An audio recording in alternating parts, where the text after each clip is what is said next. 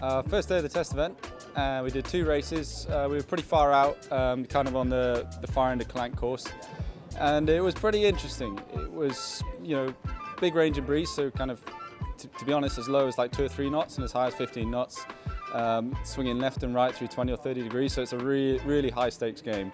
You know, you're kind of gambling your way around the racecourse, and it's a, a high stakes poker game. Uh, but I enjoyed it. You know, I, I, managed to kind of stay out of trouble. I think I got about a two and a five, which I'm, I'm happy with. And looking forward to tomorrow, one day at a time. It was uh, very complicated with the wind, uh, a lot of shift take, a lot of uh, uh, wind pressure, different pressure. Uh, was okay for me. I took a penalty on the first one, so had to do my best to, to do the best race as, as possible. I think I, I did the job, and yeah, thank you. I don't know. I, I knew I was a lot with next to Japan, Chinese. Uh, I saw the Sweden, Canadian, but yeah, don't remember exactly who was there. Let's just see. Let's do the best day day after day.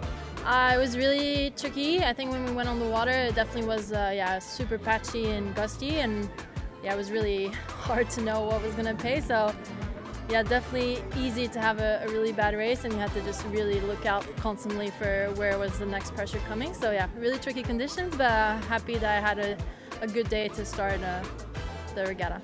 Yeah, it was a, a, challenging day, I think, for everyone. We sailed on uh, Calanque, the uh, wind straight behind the mountains, so I think it was very challenging, the wind coming in and stopping and coming in. Um, so I'm actually happy with just a solid day. Oh, it was so difficult. I think it was tricky for everything. So I just tried to do the best I can and, and, and be sharp. Um, so I was happy, but it's very challenging. And you never know with these conditions. Maybe I was a bit lucky, maybe not, but um, I take it.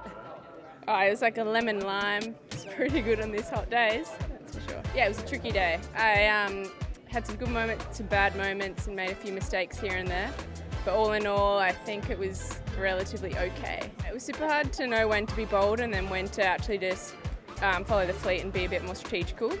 Um, but I think the people that trusted their gut and then went for their own pressures probably the people that came out on top today. Uh, for me, it was up and down. I had some good moments, some tough, but it was fun. It was interesting racing, and we keep going from here. I tried to stay as close as I could. I had tricky start, so I had to take risks when I was falling out. I think I handled it okay. I was always fighting from the back, so I think it was okay. But from here we go, so it's good.